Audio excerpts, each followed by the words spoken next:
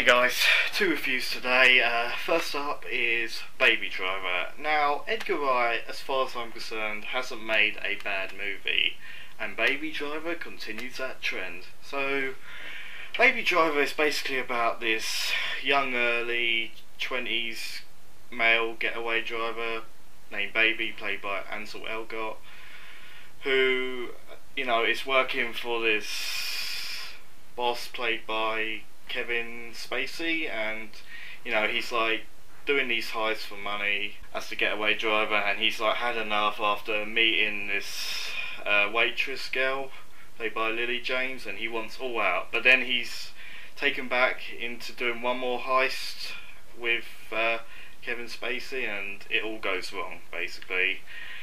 So it's a very well made film. I can't fault Edgar Wright's direction in it. It's very well shot, fast paced, stylish.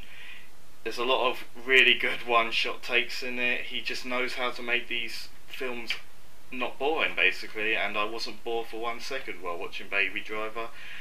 The car chase action sequences are really good. Uh, the Edgar Wright humour is in there a bit. Uh, the cast is fantastic. Can't really fault it. You got Jon Hamm, Jamie Foxx, uh, El- Elsa Gonzalez. Is that her name? Yep. And yeah, I really enjoyed Baby Driver. Although saying that, it's probably my least favourite Edgar Wright movie. Can't believe I'm saying that, but that just proves how talented the man is.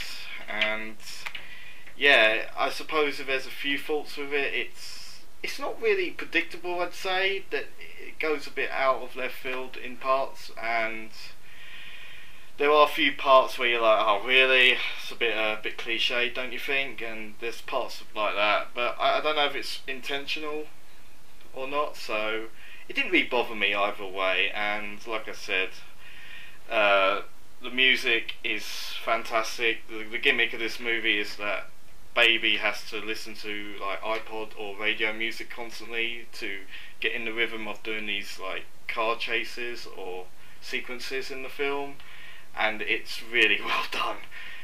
I can't really think of any errors in it, and I've got to give it to Edgar Wright. He has made a well-made film. However, it's personally not my favourite of his, and I'm giving Baby Driver a 7.5 out of 10.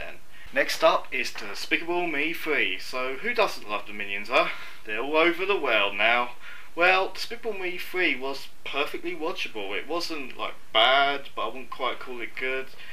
So the plot is basically about Gru, played by Steve Carell, meeting his long-lost brother, Dru, also played by Steve Carell, and they work together to stop this 80s music-loving teen star played by Trey Parker from South Park who grows up to be a villain, and there's these subplots with Gru's wife and his kids. Uh, now, I got confused here because I hadn't seen Despicable Me 2, so I didn't know Gru had a wife at this point, so that initially confused me, but it clicked. And yeah, it, it was just it was just average really. Like the funniest scenes for me were when Trey Parker and the Minions showed up. Like the Minions are hardly in it to be honest. They have one good scene in the prison, which probably got the most laughs out of me. And Trey Parker got a few chuckles and laughs out of me, but he's not in it for a large portion of the middle part of the film. So yeah, it when it focuses back on Gru and Dru and you know the mum and the kids, it it just it just wasn't clicking for me. The, the jokes weren't hitting.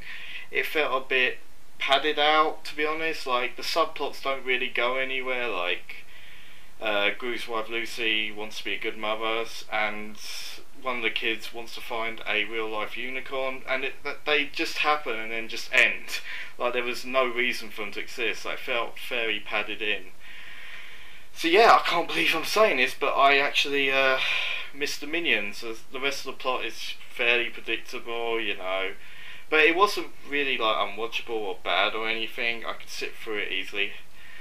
Heck, I, I was defending Minions over Inside Out back in the day, and people called me crazy. But I really did not like Inside Out, and the Despicable Me movies have just been, you know, perfectly watchable. I'd say the first one is genuinely good, and yeah, they're probably Illumination's uh, best uh, movies, although that's really not saying that much. So yeah, it was perfectly watchable. You know, there's a few little laughs and chuckles here and there, but I wouldn't quite call it a good movie. So I'm giving Despicable Me 3 a 6 out of 10.